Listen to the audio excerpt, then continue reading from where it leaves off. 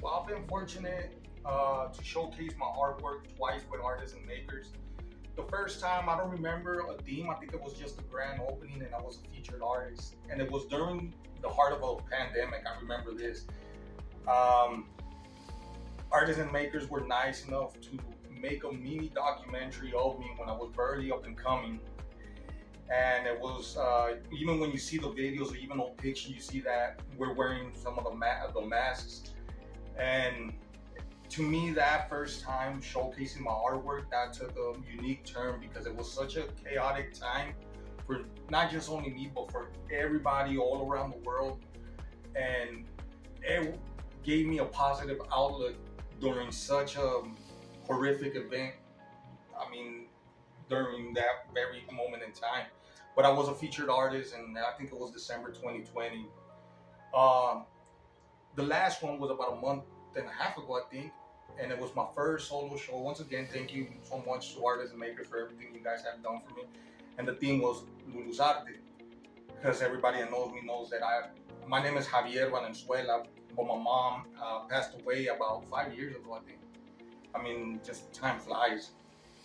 And um, I dedicate all my artwork and all my, my, artistic skills to her. So I decided to call it Lulu's Arte. So it was my very first show, and and they were more than happy to bring me back and give me my first solo show and just show all my artwork. And yeah, the thing pretty much finally introducing my theme, my theme as to what it is, my artwork, and what pushes me.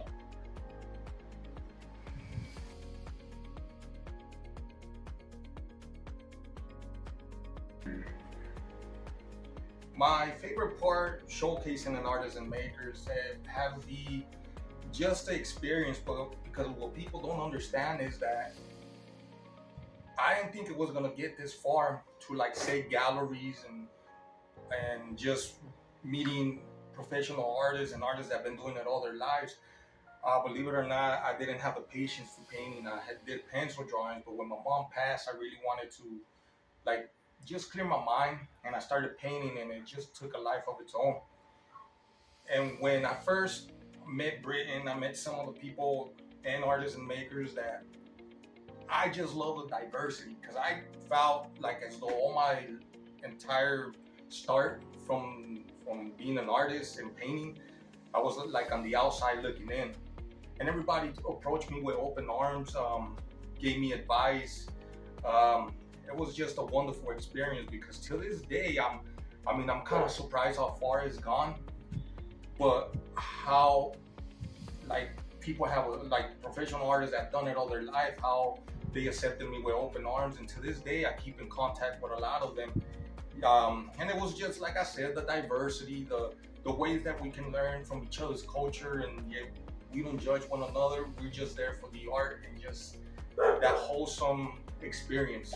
So that's been my favorite diversity and, and just, you know, uh, just constantly learning new things and having, um, meeting new people, new artists. So.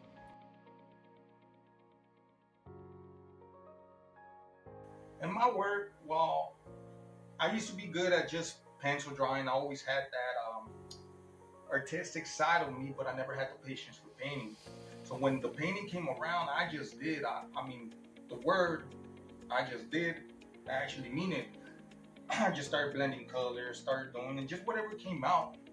For the first few times, I really hated my painting because I didn't feel as though I was like living up to the potential of like what other artists would expect from me. And till I started noticing that people were connecting to my artwork.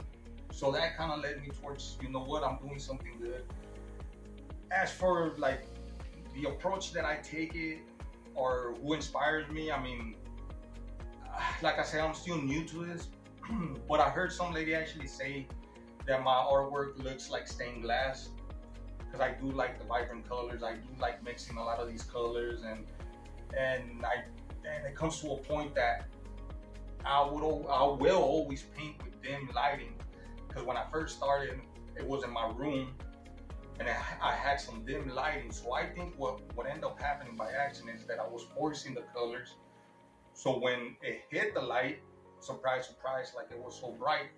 But my, I wasn't trying to make it as bright, but I think it just took a life form of its own.